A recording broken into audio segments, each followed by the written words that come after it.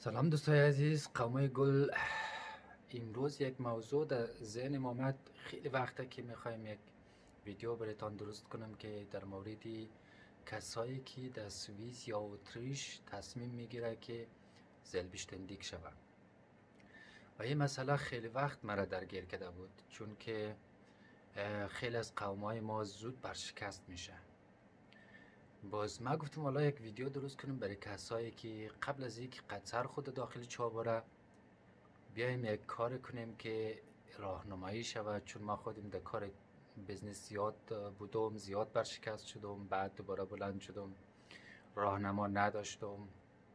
و مو خاطر تصمیم گرفتیم که یک یک راهنمایی اولیه برای قومای گل داشته باشم. کسایی که تصمیم به کارای دارن که از خودشان یک بزنس را بندازن. لطفا لطفا. قبل از اینکه همه رقم که گفتم قصر خود داخل چا برین بیاین ما شما را کمی راهنمایی می‌کنیم.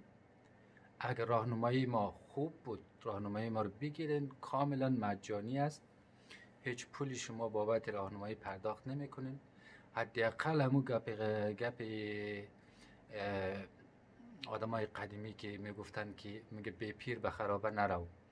به حال ما یک مقدار در بازار بودیم این طرف طرف بودیم بر شکست شدن و سختی های زندگی را تجربه کردیم و از ما یک مقدار شاید اگر یک چیزی نصیبتان شوه که چی خوب اگر نشدم شما صاحب اختیار هستین تصمیمتان را خودتان می‌گیرین. ولی یک مقدار راهنمایی اگر شوید بد نیست. چون ما ارتباط زیاد داریم با شرکت های مختلف با ارگان های دولتی مختلف.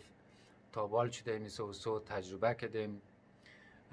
اینمی کار از دست ما برمیآید که ما همراهتان کده می‌تونیم. مثلا ما دیشب پریشب پیش یک از رفقای خوب بودم و هم گفت فلانی برشکست شده فلانی برشکست شده. ولی خیلی جای تاسف است. چرا که ما وقتی میاییم از افغانستان هیچی بلد نیستیم. وقتی میاییم در سوئیس یا در اتریش از قابشویی شروع می‌کنیم. چرا باید باید حقیقت را پنهان کرد؟ از قابشویی شروع می‌کنیم بسیار به سختی بسیار در بدبختی پول جمع می‌کنیم. زندگی شوخی نیست مسخره هم نیست. و ما شما به خاطری که فردای ما بهتر شود روزگار ما بهتر شود تصمیم می‌گیریم که کار شخصی از خود داشته باشیم. بنابراین وقتی که کار شخصی چهار پنج سال دیگه ما را به عقب بندازه و این خیلی بد است. بنابراین بیاین ما شما را یک یک ساعت میگین دو ساعت میگین وقت برایتان میمانم. شما راهنمایی می‌کنم. فقط به احساس وطندار بودن قوم بودن هزاره بودن شما راهنمایی می‌کنم. بعد از او اگر رفتین هر کاری کردین دل خودتان. و ما راهنمایی راههایی که خود ما بلد هستیم برایتان نشان میدیم راهنمایی می‌کنیم. حداقل شاید یک کاری کرده باشیم. اگر یکی از شما ها رو نجات داده بتانیم که بتانین پنج سال شش سال هفت سال از عمر خودتان به جای تلف نکنین هدر نره عمرتان.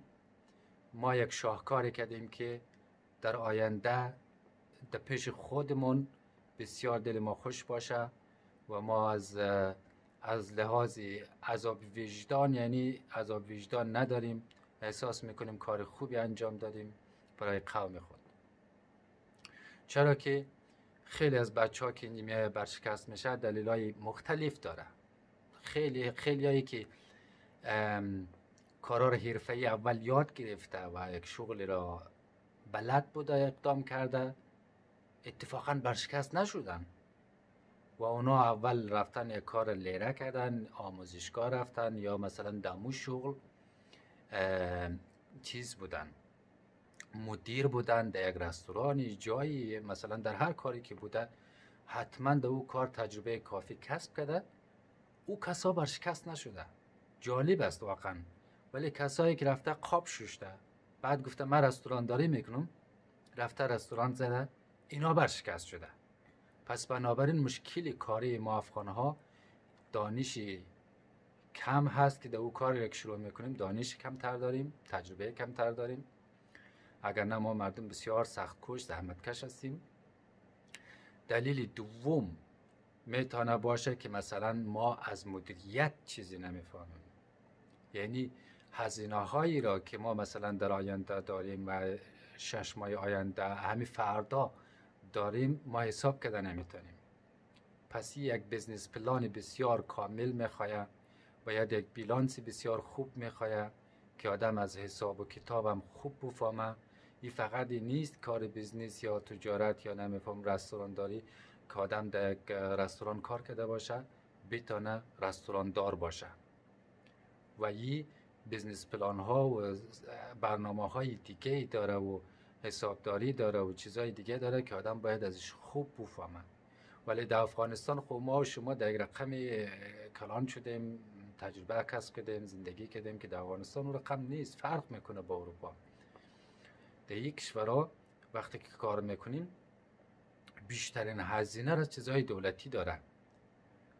کار، کارمند که می‌گیریم کارمند صد رقم بیمه داره رقم رقم دنگ و پنگ در پشت داره که این در افغانستان یا در ایران همچی چیزی نیست.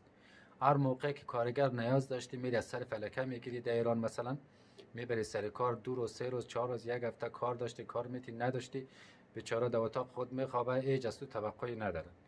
ولی در اروپای رقم نیست قندیم. وقتی کار را مندازی مسئولیت کارمندا در عقدهتان میفته شما باید در مقابل دولت در مقابل کارمند در مقابل همه مسئولیت دارین. بنابراین باید این چیزها را پیش از پیش حساب کتاب کرده بتانین. وقتی که حساب کتاب نتانین به مشکل برمیخورین. حساب کتاب منظور من این نیست که شما خدای نکرده نمی‌فهمین که بین حساب کنید ضرب جمع تقسیم حساب این چیزها رو کده بتانید نه خیلی چیزهایی هست که ما و شما در ابتدا شروع می‌کنیم نمی‌فهمیم خبر نداریم بی خبر هستیم. همین ناآگاه بودن ما و شما می‌تونه بزرگترین چالش باشه. پس دوستی عزیز اگر میخوایی کاروبار تجارت یا هر کاری که می‌خوای راه بندازی من دوستای دیگه هم دارم که دیگه کارا خیلی موفق بوده و تجربه کافی کسب کرده شما رو می‌تونه راهنمایی کنه اگر خواستین بیاین با ما در تماس در تماس شوین من شماره خودم میمانم در اینجا. کار داشتین حتما با ما در تماس شوین. حداقل بیاین یک ساعت نیم ساعت با ما. حداقل مشوره مجانی که به گردن شما هیچ سختی نداره. برای ما هم هیچ مشکلی نیست که یک نیم ساعت یک ساعت وقت خود برای یک هموطن خود بگذاریم که او را نجات داده باشیم. تشکر قمای گل. وقتتان زیاد نمی‌گیرم. هفت چیزی کم هشت دقیقه شد دیگه. از او زیاد پرگویی میشه. همه روز خوش. خدافیز موفق باشیم